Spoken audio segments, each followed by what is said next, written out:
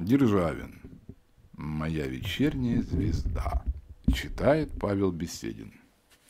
Моя вечерняя звезда, моя последняя любовь, На потемневшие года приветный луч.